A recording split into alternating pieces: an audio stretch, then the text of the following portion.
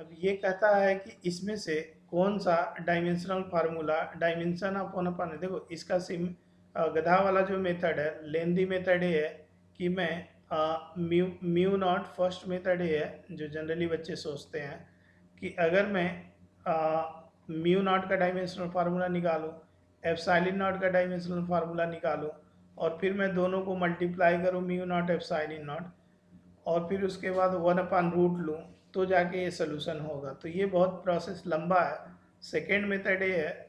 आपको याद होगा कि लाइट की जो स्पीड है स्पीड ऑफ़ लाइट जो होती है स्पीड ऑफ़ लाइट सी वो one upon epsilon naught mu naught के अंडर के इक्वल होती है।